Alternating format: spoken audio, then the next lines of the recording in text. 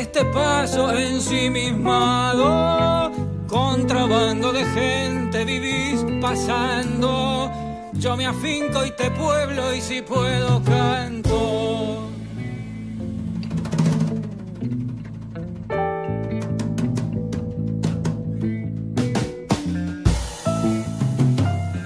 Con la huella de Montevideo de fondo, una canción de Fernando Cabrera, donde de alguna forma eh, visita el proceso fundacional de Montevideo. Entramos ya en charla. Vamos sí a nuestra segunda entrevista que va a ser, tercera entrevista que va a ser doble, una doble entrevista con dos este, profesores.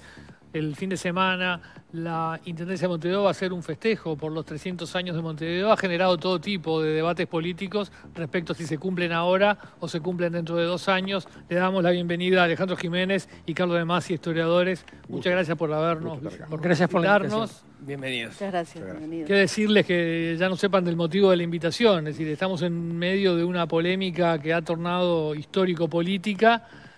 ¿Cuándo se fundó Montevideo? Yo no diría que es una polémica, digamos.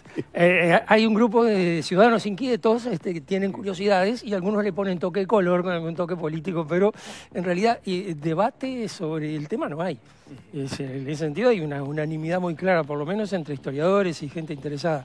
Habría debate si viniera alguien con una serie documental nueva y dijera, bueno, acá muestra que lo que se estudió sobre la fundación de Montevideo eh, no es correcto o acá aparecen datos nuevos. Allí podría haber espacio para debate. Esto, digamos, es una inquietud social sobre un tema que, que, bueno, que está en, en- en las noticias del día.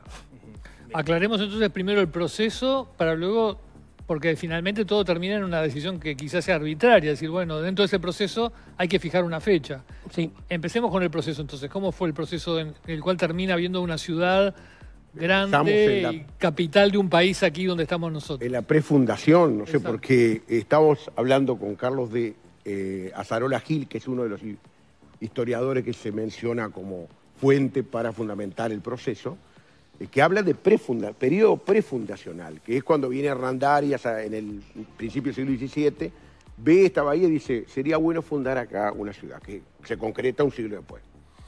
Pero... Eso es el 1600. 1607, 8, cuando anduvo investigando, que después termina que quién no sabe que haya pasado por el ciclo escolar, quién fue que introdujo la ganadería, Hernando Arias sabe. No deja de ser impresionante que Colón llega a América 1492 y pasa mucho tiempo hasta que este lugar empieza por lo menos a sonar algo, ¿no? Vespucio en 1502 ya había este, hab- hablado de pináculo de Tentio, decía, pináculo donde se detienen las naves, el cerro, una palabra. Eh, bueno, pero después sí, ya ir aterrizando más cercano, ya ne- por allá por 1717 el rey Felipe V empieza a mandarle notas a Zavala. Notas, obviamente en aquella época no era por WhatsApp, y eh, insistiéndole en la fundación. ¿no? Que Zavala está en Buenos Aires. Sí, Zavala, gobernador de Buenos Aires, insistiéndole que hay que fundar porque ese es un lugar muy apetecido por los portugueses que habían fundado la colonia en 1780. Bueno, se reiteran esas comunicaciones, ¿no? Y Zavala no lo quiere fundar y en gran parte, eh, Carlos debe estar de acuerdo, es porque había un núcleo de comerciantes vascos en Buenos Aires que veían ya la perspectiva de que si se fundaba Montevideo, mejor puerto natural iba a competir con Buenos Aires fueron eh, dando largas hasta que a final de 1723 sucede la invasión portuguesa y ahí hay que actuar. Ustedes hoy nombraron a Gronardo, creo que fue. Pedro Gronardo era el práctico del río, desde Buenos Aires, viene patrullando y dice, "Pa, están los portugueses. Volvió a Buenos Aires, le dijo a Zavala y bueno, se, se desató todo y en enero del 24 es cuando este, se da el golpe de mano de Zavala para recuperar ese... O sea que el- la primera vez que se instaló una persona fue en 1723 con los portugueses. Con los portugueses, aparentemente. Porque eso sí. me, me llama la atención de este debate que nadie dice, no, es 1723, no dice nadie, pero es la primera vez que se instala una persona. Y es más, es el, el- el decisivo, porque es la noticia de la instalación de los portugueses lo que mueve a Zavala a fundar la ciudad. Es decir, el- el- eh, la situación de Zavala es bastante complicada. Tú dijiste algo interesante, este, habían pasado como 200 años de que había llegado Colón y acá este lugar todavía estaba des- despoblado. Eh, si uno imagina el, este, el imperio español como un enorme monstruo, este, eh, el Río de la Plata sería el extremo final de la cola del monstruo. Ajá. Es decir, el- lo que menos importancia tenía, porque, digamos, era un lugar que, que no producía metal precioso. ¿Mm? Entonces, el, el comercio para esta región venía desde el Caribe, pasaba por Lima y llegaba, digamos, de pasar por Córdoba, llegaba a Buenos Aires.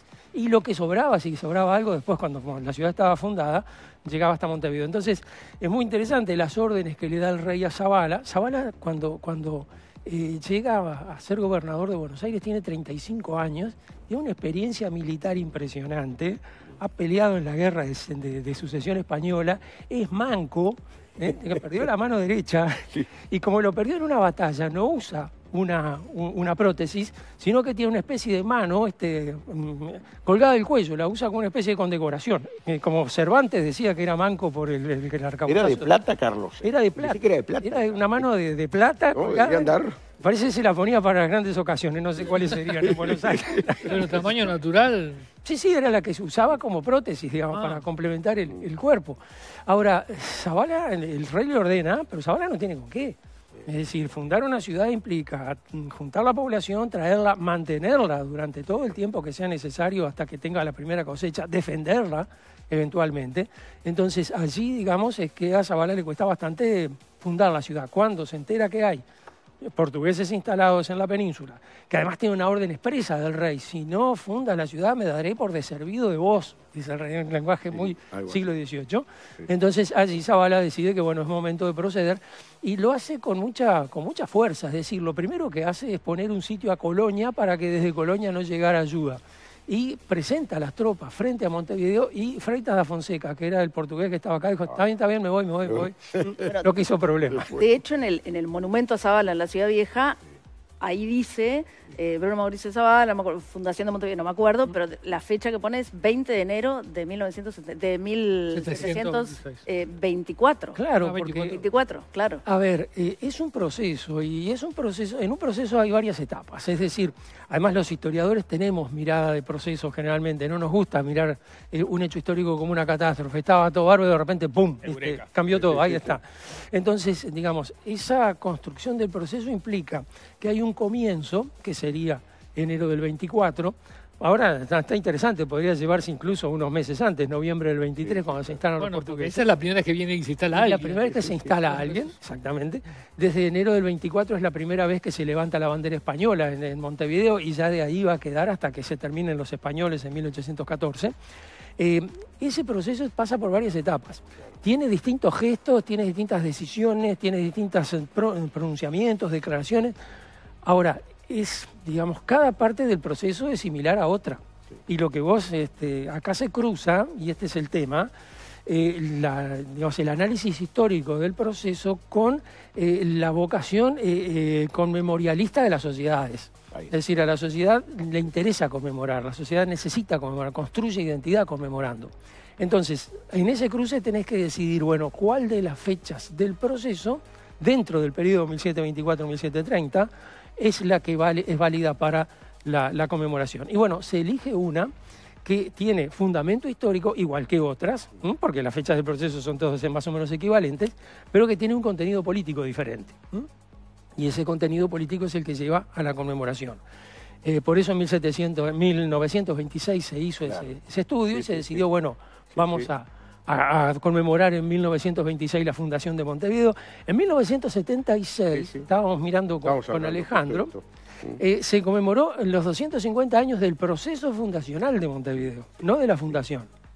O sea que la visión de proceso ya estaba ahí, más allá de que se había puesto el hito Exactamente. en el 26 y no en el 24. Me acuerdo que yo, perdona Alejandro, solo con esto, eh, nos, eh, yo daba clases en, en, los institutos privados y tenía una ordenanza de secundaria que dar una clase especial en un día determinado sobre la Fundación de Montevideo. Y lo que todos los alumnos planteaban es, profe, ¿por qué proceso fundacional? ¿Por qué no es la fundación? Bueno, y ahí arrancábamos con este, este mismo verso que estamos haciendo ahora. Incluso, Carlos, en el año 75, el año de la orientalidad, genera también lo que decía Carlos del conmemorativo, ¿no? O sea, ese, afán que tiene mucho las dictaduras también, ¿no?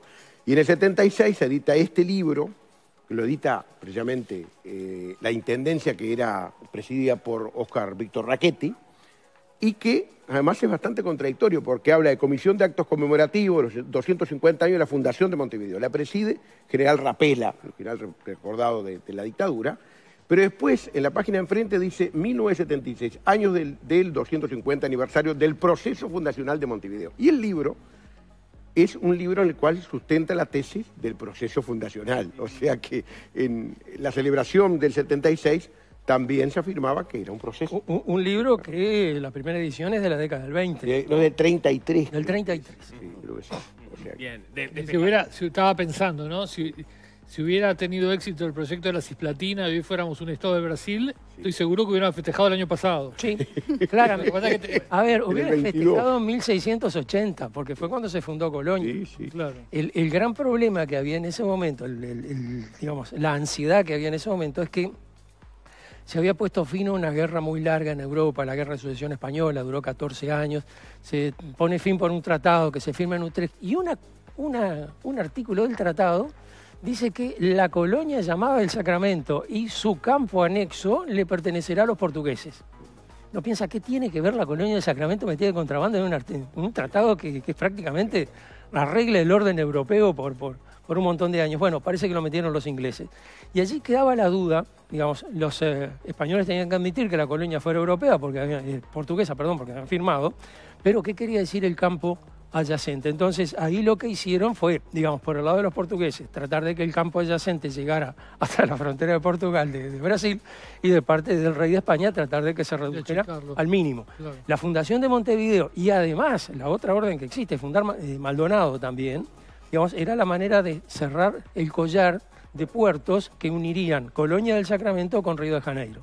¿Mm? Fundar Montevideo por parte de los españoles significaba cortar ese- esa ruta marítima. Y esa era un poco la, la ansiedad que había en ese momento. aquello que decían René Sabadí, Brusquer y Meloño de Pradera, Frontera y Puerto de la banda oriental, si tomaban, si se lograban fundar Montevideo y después es decir, Maldonado, ¿no?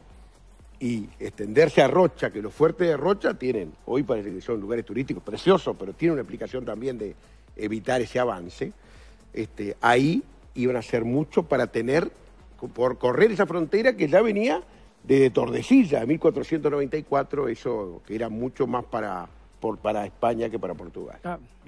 Eh, bueno, despejada esa, esa discusión a propósito del proceso, ¿cómo fue la, la burocracia de ese proceso fundacional? Una vez que, bueno, Gronardo avisa que está la invasión portuguesa, ¿cuáles son los pasos que se empiezan a disparar ahí en el resto del, del proceso? Sí, bueno, eh, Zavala junta todo lo que tiene, no es mucho, este, unas dos naves este, pequeñas que tienen unos nombres de lo más, este, la capitana y la almirante, creo que se llaman las naves, son unos Y hay algún barco esclavista. también. Ahí está, también lo y, y con eso que tiene, viene y se presenta ante Montevideo. Este, y el, como es el, el- el jefe portugués se retira.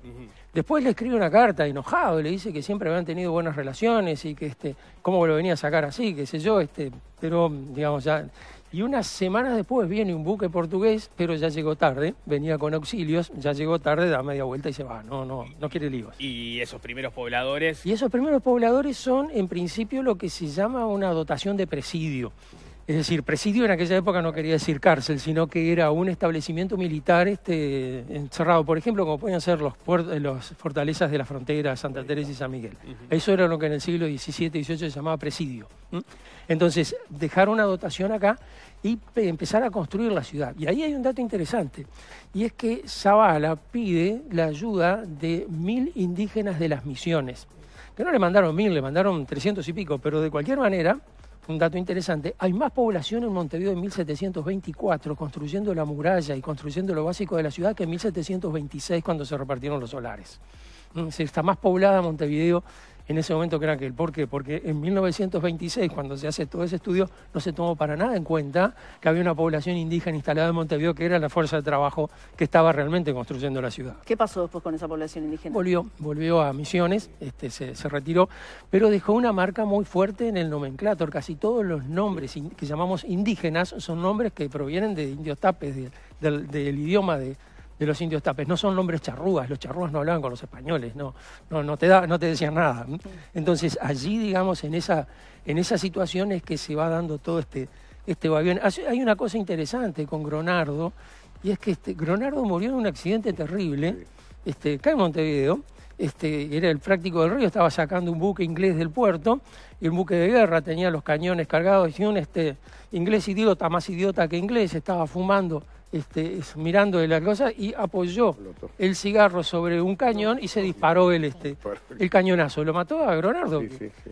Eh, Y, y, digamos, Gronardo era el primer em- comerciante, además de la ciudad, porque tenía un, un- un comercio. Por lo cual, el que asumió el lugar del comercio fue Jorge Burgues, que era un- el primer, primer, primer poblador, primer civil que había llegado con familia a Montevideo en 1725, pidió, hizo la gestión en el 24, perdón, y llegó en junio del 24, y allí, digamos, este, Burgues se transforma un poco en el abastecedor de, de la ciudad. Es decir, uno tiene la sensación de que todo es tan precario, todo es tan eh, prendido con hilo, todo, todo es tan así. Este, la vida debe ser tan dura, lo único que es, digamos, accesible y fácil es la comida. Todo lo demás tenés que trabajarlo como loco. Y además, este, la, la ciudad vieja, si ustedes las recorren en, en- en invierno, verán que no es para nada un lugar particularmente agradable para estar en medio de la intemperie. Es decir, uno puede encontrar dos lados, el lado de la bahía, que es un lado relativamente protegido porque está la cuchilla, y el lado del río, el lado de, que, que da para el sur, que es un lado durísimo por el viento en la, en la ciudad, en, en- en invierno, el viento del sur la agarra de lleno. Entonces, el, otro de los problemas que había era convencer a la población de que efectivamente poblara la ciudad, que se instalara en, la, en, la, en la península, porque después que se repartieron los, la- los solares, la mayoría se iba a vivir al Miguelete, que era un lugar espectacular, una belleza, cómo cambian los, los tiempos, ¿no? El Miguelete era el lugar preferido, entonces se iban a vivir ahí, claro, y no poblaban la ciudad. Entonces, este, al final se les dijo que les iban a quitar las, las, las Mercedes si no poblaban la ciudad en el plazo de un año, una cosa así, tuvieron que construirse casa en, en- dentro de la muralla. Y en Miguelete que se hacían casas también, tipo de... Miguelete había chacras y las chacras del Miguelete todo el mundo dice eran una belleza. Bueno, una chacra del Miguelete tenía eh, José Manuel Pérez Castellano y ahí su gran orgullo había logrado eh, eh, producir manzanas. este, es decir, Pérez Castellano aclimató la manzana en este, en este país, en este territorio. Era, es decir, ese tipo de cosas este, donde uno las ve, todavía en el siglo XIX tiene este, toda esa construcción. Bueno, por algo, digamos, está el Prado allí también en, esa- Claro. en esa zona. Pero, digamos, no, no, no nos desviemos. Eso, digamos, sacaba a la gente de la ciudad, que era donde teóricamente se suponía que tenía que estar. Claro, incluso la fecha del 26, no, 24 de diciembre del 26. ¿Ustedes vieron que alguna vez se celebrara el 24 de diciembre como fecha en algún momento? Nadie. O sea, no, no. Celebran otras cosas. Claro, pero no eso. El 24 de diciembre lo que hizo Millán, capitán Pedro de Millán, fue repartir, como decía Carlos, un solar en la ciudad, porque había que estimular a que vinieran de Buenos Aires, después los gallegos, después los canarios, un, eh, una- solar en la ciudad, unas, una chacra las afueras y después más afuera una suerte de estancia. Porque había que darles algo, pues si no, no venían, lo que dice Carlos. Y viene, bueno, entonces por eso es que ahí se maneja, la, la- ahí aparece la fecha del 26, ¿no? Que como dice Carlos, en el 26, en 1926, Juan P. Fabini, a quien debemos mucho de Montevideo, la Rambla Sur, la Diagonal Agraciada, establece como presidente del Consejo Departamental, vamos a celebrar los, los 200 años. Y la dictadura después celebrará 250, o sea, pero que es parte de ese proceso. Incluso Zavala, recién en el 29, diciembre 29, habla de una fundación jurídica, ¿no? un acta en la cual dice hay que establecer cabildo, que se establece el primero de enero de 1730. O sea, en, en ese momento entonces tenía, se tenía, bueno, en el 26 se tenía la muralla y qué, qué más. Todavía no. Todavía no. Sí, Todavía. todavía estaba medio a construir. La y había muralla, algunas, sí. algunas casas, Sí. digamos, algunos este, establecimientos, algunas, algunas construcciones. Digamos, eh, la, la ciudad recién estaba delineada. Claro. Eh, es muy interesante esto que, que decía Alejandro, porque mm, la orden de Zavala era fundar una ciudad en Montevideo y otra en Maldonado. Entonces, eh, bueno, Zavala- Zavala apenas tenía fuerza para fundar Montevideo, fundó Montevideo y en diciembre de 1729 le informa al rey que se trasladó hasta Maldonado a inspeccionar el lugar y llegó a la conclusión de era que era completamente inhabitable. es decir que, atención, viene de Buenos Aires en diciembre del 29, va a Punta del Este y dice que Punta del Este es inhabitable. Cómo cambian las cosas. Hay, hay, hay cierta, este, Sí, sí. pero más a propósito, bueno, lo- Fernando Cabrera en la canción de La Huella de Montevideo lo menciona el letargo de Zavala, ¿no? Como este, también encontrando ahí un rasgo distintivo de, de la población uruguaya de dejar las cosas pasar, ¿no? Nico, tú hablabas de la muralla, es, es un detalle importante, porque habla, también se habla en la orden de Felipe V de poblar y fortificar. ¿Para qué? Para evitar otra vez la, llegada de los portugueses. La primera muralla, la primera fortificación que va a ser la Plaza Zavala, que era el Fuerte Viejo, se le llamó después, y donde está hoy el Neptuno, allí aproximadamente era la batería de San Felipe, que luego fue el Fuerte San José. Estaba eso solo y ahí luego las primeras 13 manzanas creo que fueron, ¿no? O un poquito más, eh, no, 30 manzanas de la ciudad. Pero la fortificación, la muralla que tanto se habla, era de recién de tierra, de ramas, de fajina, no había, o sea, todavía no había piedra suficiente. Después se va a buscar, a partir de 1740 se empieza a erigir la muralla de piedra, que va hasta principios del siglo XIX, las bóvedas, por ejemplo, de lo último, las bóvedas allí en la Rambla Portuaria, que hay todavía dos de las 34 que eran, o sea, como que ese estigma de que hubo muralla desde primer día, no, no, se lleva un proceso, un siglo prácticamente a hacer la, la, la muralla. Me quedé pensando en los, po- los pobladores y dónde construían las casas y hablando en esto de- del Miguelete y después el, el- el- el pedido de que se fueran de ahí. ¿Cómo es el proceso habitacional de Montevideo? ¿Empieza en Miguelete, va para la Ciudad Vieja y después? Bueno, a ver, el- teóricamente empieza en la península. Teóricamente empieza ahí donde es la península y ahí les dan los, y ahí donde construyen, digamos, sus primeros refugios. Sí. Después, cuando se reparten las chacras, al cuñado de Burgues, a Carrasco le tocó una chacra cerca del arroyo Carrasco, de ahí quedó. El caso Burgues es muy interesante porque Burgues se viene con su familia e invita a sus cuñados. Sus cuñados son Carrasco y bueno, José, Juan Francisco Artigas. Y allí vienen, digamos, los tres a poblar Montevideo. Y allí reciben los tres sus, sus este, 1726. Ahora, el, el- punto está en que también hay estancias y allí está la parte, digamos, más complicada, porque la estancia segura es la parte más rica de la, de la donación, la más interesante, pero estancia era campo abierto. Y saliendo de Montevideo estaban los minuanes, y los minuanes, como les llamaban en la época, que serían charrúas probablemente, eran muy poco hospitalarios y, y para nada sensibles a las demandas de los españoles, se llevaban muy mal.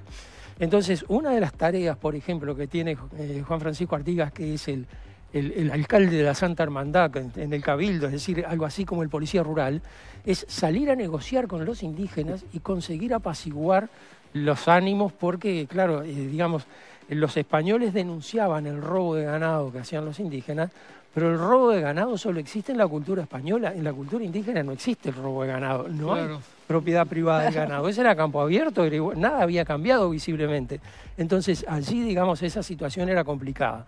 Entonces, lo que resultaba más interesante entre poblar la ciudad, que estaba prácticamente al descampado, poblar la chacra, que era un lugar hermoso, y poblar la estancia, que era campo abierto, bueno, se instalaban sobre todo en la chacra. Y desde la chacra más o menos empezaban a manejarse. Luego hubo que arrimarse a la ciudad por, obligatoriamente, ¿no? Y así otra cosa interesante, era una población muy, muy, muy modesta. Muy modesta, a pesar de que tenían título de nobleza de bajo nivel, este, podían ponerle don delante del, del nombre y todas esas cosas, que en la época eso era importante. Pero la población era tan modesta que cuando Zavala funda el Cabildo establece dos situaciones, digamos, este, excepcionales. Uno, no era necesario que el cabildante vistiera de, levita, no había ropa No legal, tenía. había, la- estaba la de fajina corriente, y no todos tenían que saber leer. Es decir, no, no, no, no había suficiente gente en Montevideo letrada como para participar todos del Cabildo. ¿Y, y en qué momento la, la ciudad adquiere cierto desarrollo? Pensamos en, en la rivalidad de puertos. ¿En qué momento había una actividad en Montevideo como para pensar que era una ciudad o una población más o menos este, activa? Allí hay dos o tres escalones, digamos. este, empiezo yo y después seguir. Ah, dale. porque-. Eh, primero, Montevideo es lo que es, este, un lugar abandonado. Es más, los eh, buques llegan a Montevideo con- por, por casualidad y se encuentra que hay una población. Y pueden intercambiar cosas, cosas que inmediatamente despierta el interés. Caramba, este, allí hay una población que está desabastecida, tienen muchísimo cuero para ofrecer. Los cueros no son particularmente interesantes, pero son muchos y muy baratos y eso lo vuelve interesante. Además, después la revolución industrial los volvió interesantes. Entonces, allí, digamos, empiezan a producirse cierto intercambio. Por 1750 se crea la gobernación de Montevideo y allí viene el primer gobernador, eh, José Joaquín de Viana, eh, perdón, Francisco Javier de Viana. Y Francisco Javier de Viana, bueno, significa, digamos, el primer escalón este, importante de, de Montevideo desde el punto de vista burocrático. Es gobernación, pero no tiene frontera como gobernación. Digamos, es la gobernación de Montevideo y no se sabe hasta dónde alcanza. eh, funda además, eh, el gobernador Viana le pone el ojo directamente a la hija de Alzheimer, que era el, este, el terrateniente más importante de la ciudad, se casan, la hija de Alzheimer la apodaban la mariscala, o sea que también era chica de carácter, y digamos, ahí funda uno de los latifundios coloniales más importantes, la casa Viana Alzheimer, que era de, de una enorme extensión de tierra. Y después, digamos, la gran explosión viene cuando se establece el Reglamento de Comercio Libre de 1780. Entonces allí sí Montevideo se convierte en puerto. E Incluso eh, hay un capítulo importante que a veces se, ignora, el tema del esclavismo. ¿no? Hay un, colega que es Alex Borucki, que ha estudiado mucho el tema, que él prácticamente define que Buenos Aires y Montevideo surgen porque hay tráfico esclavista, prácticamente. O sea, eh, es el leitmotiv para que surjan este, tanto Montevideo como, Buenos Aires. Pero es muy interesante el, planteo que hace Carlos de cómo en el 50 dependíamos de la gobernación hasta el 50 de Buenos Aires, ¿no? Eh, y de- del virreinato del Perú. Se crea Montevideo, la gobernación de Montevideo, seguimos dependiendo de Perú. Pero después en el 77 se crea el virreinato del Río de la Plata. Ahí pasamos a depender de Buenos Aires. Y ahí se agudiza lo que se llama lucha de puertos, que algunos la cuestionan como tal, ¿no? Este, aquello de que los barcos pasaban por Montevideo. Si pasaban por Montevideo tenían que pagar más impuestos que si no pasaban. Entonces, allí se genera toda esa esos sentimientos localistas y autonómicos que van hasta ahora, o sea, eso de los porteños, ¿no? Y un poco despectivo. Eh, pero el desarrollo de Montevideo a nivel económico tiene que ver con esos borbones, ¿no?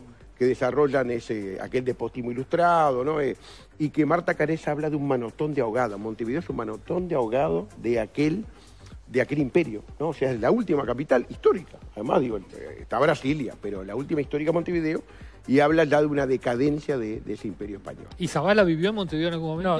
No, nunca. Estuvo acá este, residiendo. Además, eh, Zavala vivió muy pocos años, después de Diez años 1730, exactamente. Este, era una vida muy agitada. Fíjate que llegó con 35 años y murió antes de cumplir 50. Mm, Es decir, realmente este, ser gobernador en estos lugares no era bueno para la salud. Pero, pero pernoctó una noche por lo menos acá. Sí, no, más de una, más de una. Más de una. Incluso, Leo, el tema importante es que la imagen de Zabala que hay es una imagen bastante inventada. Algunos hablan de que la copiaron de Luis XIV, por ejemplo. La de los caramelos Zabala eh, es Luis XIV. Hay- Alguien dice Zavala. que Andrés Lamas este, vio que esa imagen era, estaba tomada de una, de una edición de Los Tres Mosqueteros. O sea que Zavala no era como todos lo tenemos Para en la nada, esa cabeza. pinta, tiene esa pinta de mosquetero francés, eso sí es clarísimo. Qué ¿Hay, hay, registros de él? No, No, no hay registros de ninguno. Está. Encontrar, eh, hacerse un retrato en aquella época era algo que pocas personas podían hacer. No, eh, él no se lo podía permitir. él no se lo podía permitir, no tenía plata. No había quien tampoco, yo creo, en Exactamente. Montevideo. ¿Quién? Mm, Eso eso lo de la pantalla no, no es. Esa, esa foto que tenés. Es una de las tantas. De las tantas imágenes. Ese- Esa es la del el caramelo. mosquetero, claro. Claro. Este es el mosquetero, este es D'Artagnan. Carlos Demás y Alejandro Jiménez, muchas gracias por Muchas habernos gracias. Muchas gracias por recibirnos. Igualmente. Muchísimas gracias. Nosotros nos vamos.